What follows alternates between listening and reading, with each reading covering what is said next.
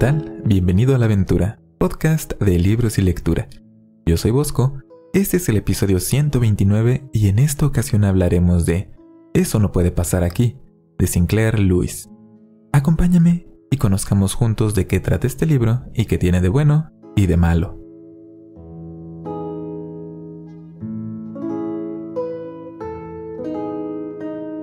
¿Has escuchado eso de que a veces la realidad supera la ficción? Pues a veces sí pasa. Quizás porque un escritor, al escribir una historia, piensa que lo más osado posible que se le puede ocurrir no puede serlo tanto como para que los lectores dejen de creerlo.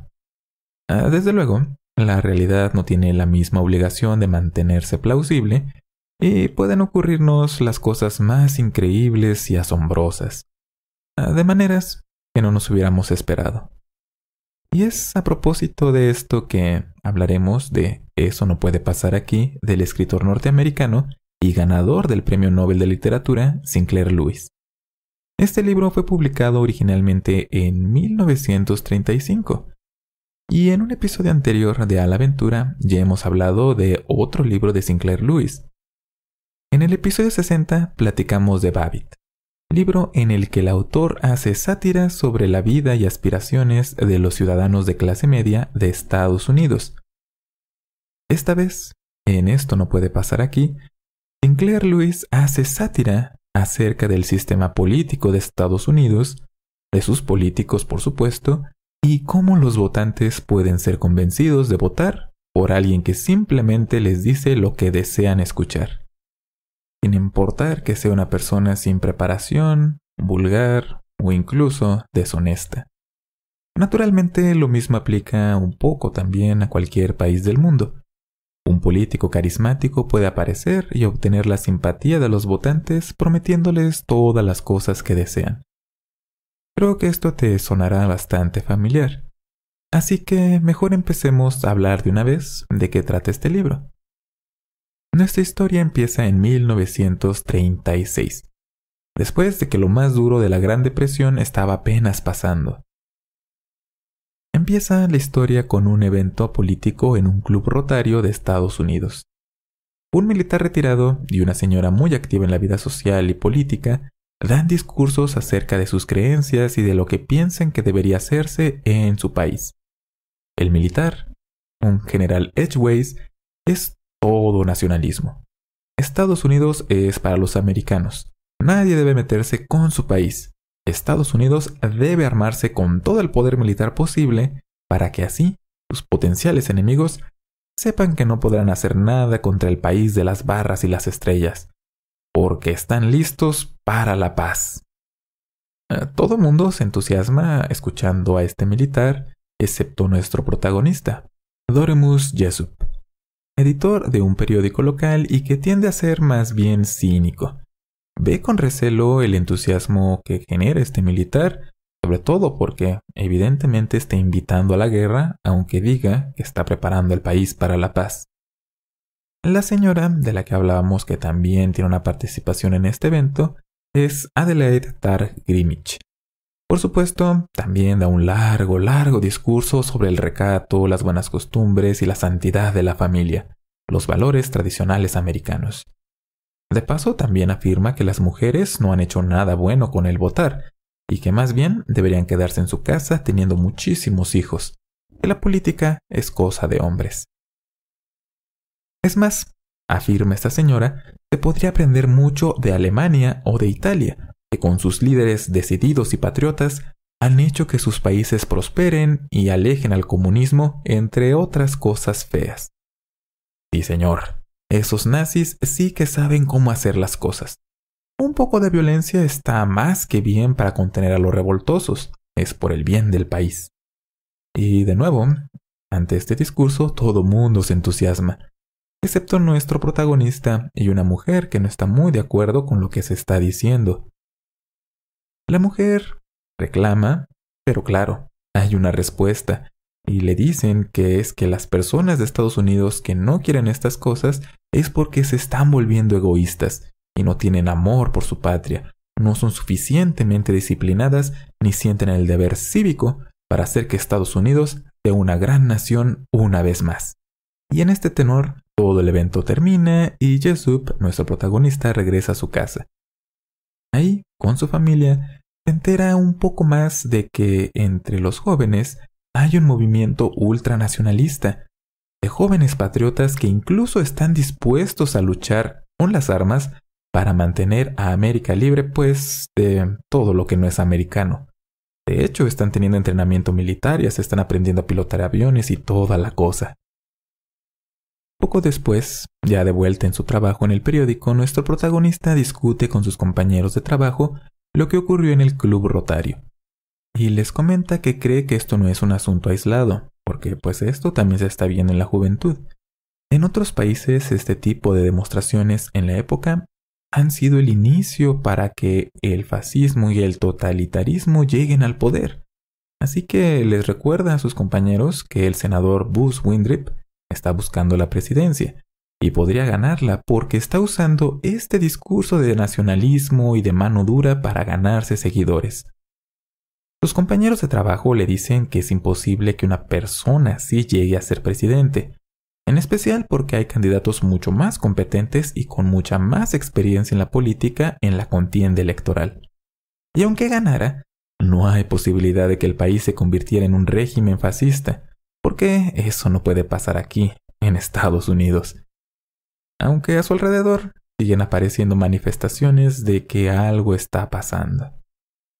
Y este tal Windrip es un personaje que ha tenido un ascenso acelerado en las filas de su partido, después de haber sido una especie de predicador, más bien vendedor, sin mucha experiencia en la política, de ser vulgar, prácticamente ser analfabeta y ser muy grosero, en fin. Es una persona que no tiene nada de preparación, pero aún así tiene mucha popularidad, en gran parte porque dependiendo de su audiencia, es su discurso. Un día puede decir una cosa y al siguiente todo lo contrario, conforme le convenga. Desde luego, esto le ha ganado muchos seguidores, en especial aquellos que han leído su autobiografía llamada Hora Cero, en la cual describe con lujo de detalle qué haría con esos rojillos, inmigrantes, agitadores y demás gente no patriótica ni americana.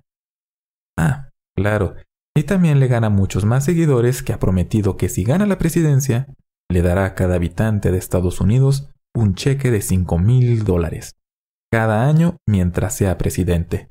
Ajustando a la inflación, esos 5 mil dólares tenían entonces el mismo valor que hoy en día tienen, más o menos 87 mil dólares.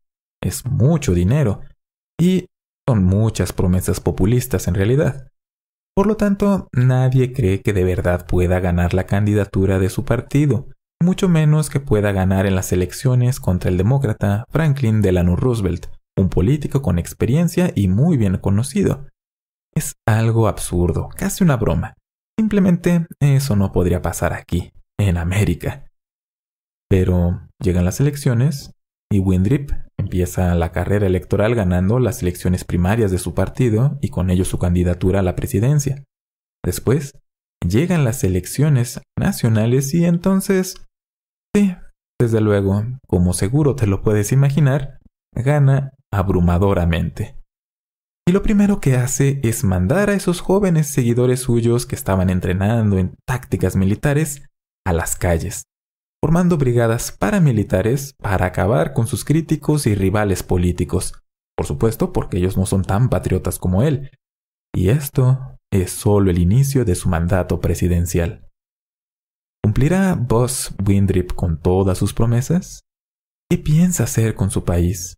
¿Y qué pasará con todo Estados Unidos? Eso lo descubrirás leyendo Eso no puede pasar aquí de Sinclair Lewis. Y ahora que sabemos de qué trata este libro, pasemos a hablar de ¿qué tiene de bueno? ¿Por qué disfrutarías de leerlo? Pues, en primer lugar, notarás que este libro nos muestra un escenario posible de lo que puede ocurrir cuando los votantes de una nación siguen ciegamente a un líder carismático que les promete solucionarles todos sus problemas de manera inmediata.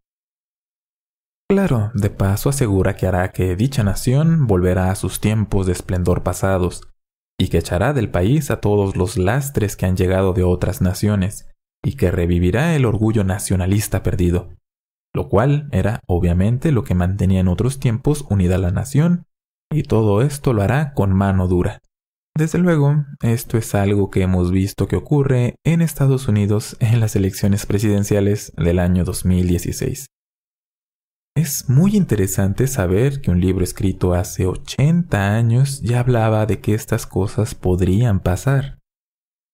Aunque hubiera millones de personas que dijeran que simplemente esto no puede pasar aquí. No es la primera vez que ocurre y probablemente no sea la última.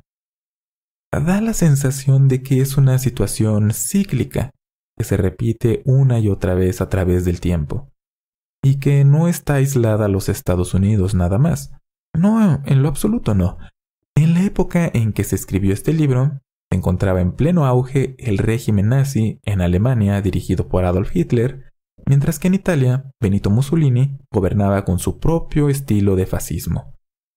Y ambos líderes apelaron al mismo discurso nacionalista, diciéndole a los habitantes de sus países que con un gobierno de mano dura volverían al esplendor pasado ya se había quedado atrás y que además expulsarían a todas las personas que no fueran auténticos alemanes o auténticos italianos, dependiendo del caso.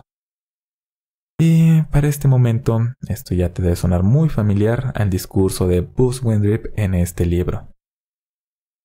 En este sentido, esto no puede pasar aquí, es una observación muy aguda acerca de las condiciones que propician que gobiernos totalitarios lleguen al poder acerca de cómo los ciudadanos de una nación eligen a sus gobernantes y cómo, en tiempos de crisis, muchas personas consideran que la mejor opción es un régimen estricto en el que las libertades individuales se sacrifiquen por el supuesto bien común.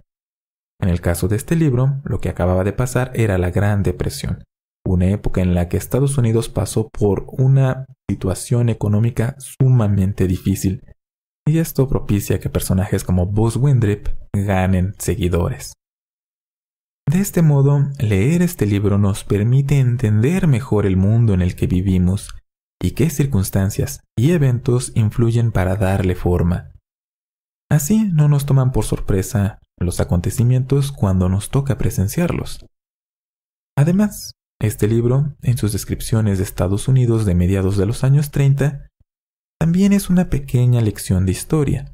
No solamente es una advertencia de lo que puede pasar en el futuro, sino también nos recuerda lo que ocurría.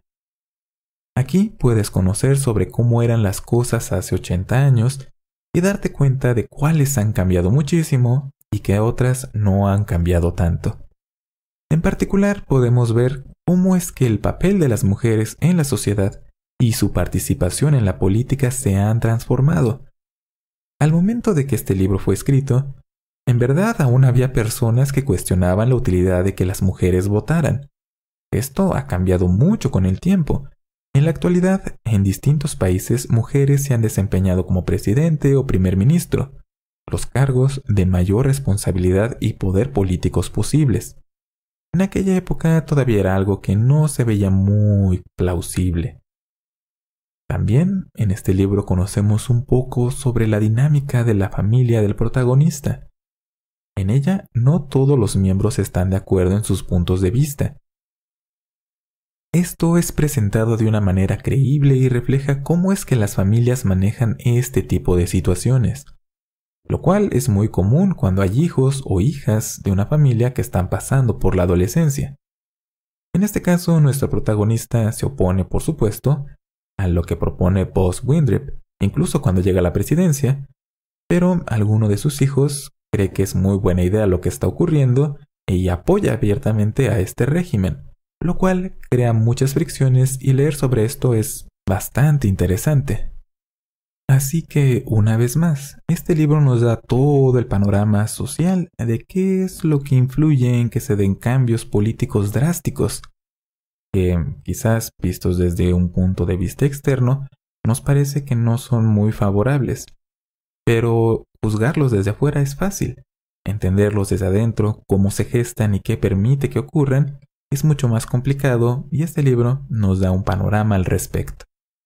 Y por último, este libro también pertenece al dominio público en los países en los que el copyright expira 50 años después de la muerte del autor. Así que puedes descargarlo gratis de algunos sitios de internet. Aunque, ¿qué tan legal es esto? Pues cambia de país a país. Ah, de todos modos, dejaré un enlace en la descripción del episodio en el cual puedes encontrar una versión del libro electrónico de Eso no puede pasar aquí. Pero nada en la vida es perfecto, así que pasemos a hablar de ¿qué tiene de malo este libro? Pues, como te puedes imaginar, es un libro poco sutil en cuanto a las predicciones que hace. De acuerdo al autor, del momento en que Buzz Windrip es elegido como presidente de Estados Unidos, al momento en que empieza la brutal represión con grupos paramilitares a su servicio, pasan creo que menos de un día. Este es, sin duda, el peor caso posible, pero puede parecerte muy exagerado, sobre todo porque todas las acciones negativas o que atentan contra la libertad de las personas empiezan mal y solo van empeorando. Y todo es descrito con lujo de detalle. Los encarcelamientos, la persecución, la tortura, todo. Estados Unidos en este libro de verdad que se va directo a lo peor que te puedas imaginar. Así que no solo puede parecerte exagerado, sino también sumamente pesimista, Tenlo en cuenta. Y muy de la mano con esto, este episodio me ha costado mucho trabajo prepararlo. Eso no puede pasar aquí es un libro del que quería hablar, sobre todo porque es oportuno a los acontecimientos recientes al momento de grabar este episodio, con Donald Trump, un empresario sin experiencia política, que promete hacer de Estados Unidos grande de nuevo, y que ha repetido hasta el cansancio lemas nacionalistas, pues ha sido electo como presidente de ese país.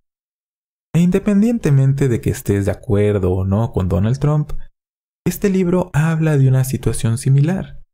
Sin embargo, al preparar este episodio y releer partes de este libro, pues, terminé sintiéndome muy desanimado, abrumado, agotado y, bueno, no en una disposición optimista como pinta el peor futuro posible, pues no es precisamente un libro muy alegre.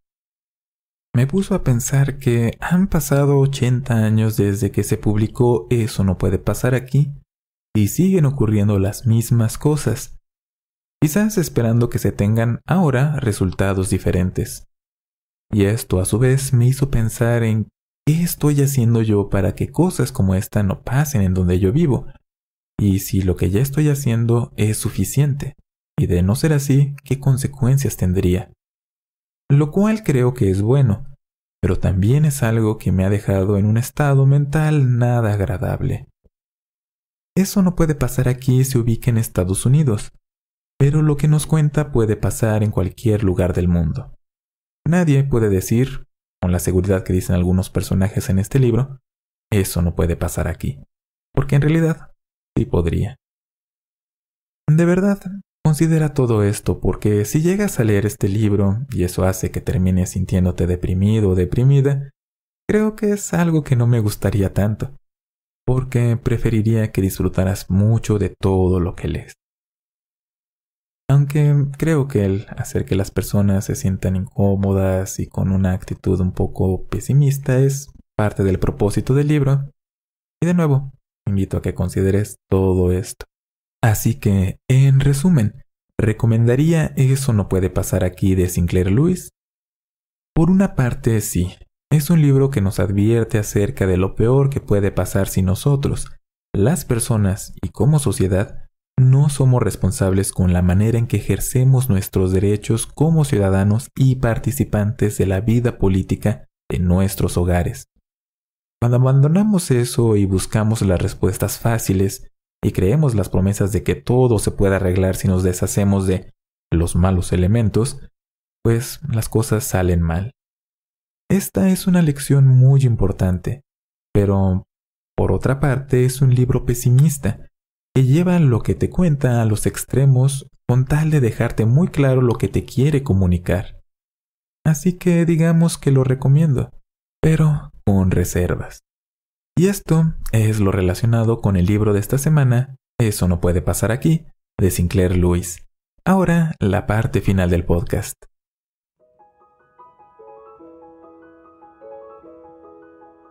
Como siempre, este podcast es traído a ti gracias a los patrones, es decir, los benefactores de A Aventura. Mes a mes, ellos, con sus donativos, ayudan a que este podcast continúe y que se cree contenido adicional. Además, tienen acceso a contenido extra a través de la página de Patreon de A la Aventura. Si tú quieres saber cómo puedes ayudar a este podcast, visita patreon.com diagonal a la aventura. Es algo muy sencillo y puedes hacerlo desde cualquier parte del mundo. Y esta vez, además de que este fue un episodio difícil de preparar, tardé más en publicar el podcast porque hace poco tuve un cambio en el trabajo. Específicamente tuve un ascenso, lo cual es algo muy positivo para mí, y para mi desarrollo profesional y para todas esas cosas, pero ahora estoy en una etapa en la que estoy acostumbrándome a nuevas responsabilidades y actividades, lo cual me ha dejado con poco tiempo para preparar todas las cosas relacionadas con el podcast. Así que combinando la dificultad del episodio con estos cambios, pues por eso es que no apareció en el día que corresponde. Una disculpa por eso y espero que no pase de nuevo en este mes. Tarde o temprano me tengo que acostumbrar al nuevo ritmo de trabajo que tengo. Y, mientras tanto, Hablemos ahora de algo agradable que son las menciones para las personas que escuchan el podcast. Hay un saludo para Alex Samurai, me alegra que, aún sabiendo que has escuchado que ocurre en un libro en los episodios extra, te queden ganas de leerlos de todos modos. Eso es algo estupendo y verás que solamente leyendo un libro tú mismo es que te apropias de él. Saludos también para Carla Córdoba, Gracias por los comentarios y qué bueno que te hayas animado a leer libros de los que hemos hablado en el podcast. Eso es parte del propósito de hacer a la aventura. También saludos para Eduardo, arroba EJC1970, que ya has hecho que agregue el libro El Renacido a mi lista ya muy larga de pendientes y luce bastante interesante. Y también saludos para arroba Carolita Medina y para arroba tea le manda saludos al presidente electo de Estados Unidos. También muy oportuno. Y, claro, recuerda visitar alaventura.net. Ahí te vas a encontrar con todos los episodios de Alaventura y también con los enlaces para poder suscribirte, lo cual está disponible no importando si tienes un teléfono, una computadora, una tablet, si es un dispositivo de Apple o es Android, están ahí las opciones en el sitio para que así recibas automáticamente los episodios y nunca te pierdas de ninguno de ellos. También ahí te vas a encontrar con los podcast amigos de A la Aventura y algunas cosas más, entre ellas los medios de contacto para que me dejes comentarios, recomendaciones, preguntas o todo lo que desees. Todo eso está en alaventura.net y también puedes acceder al sitio a través de la aplicación web que está en app es app.alaventura.net. Si quieres compartir este podcast con otra persona que te gustaría que lo conocieras, creo que es bastante fácil que simplemente los dirijas hacia la página y así puedan encontrar los episodios, cómo suscribirse y otras cosas más. Como siempre, muchas gracias por escuchar este podcast y ahora sí, esto es todo. Que tengas un excelente día y recuerda que toda persona es un monarca mientras tenga a quien considerar inferior. Hasta la próxima.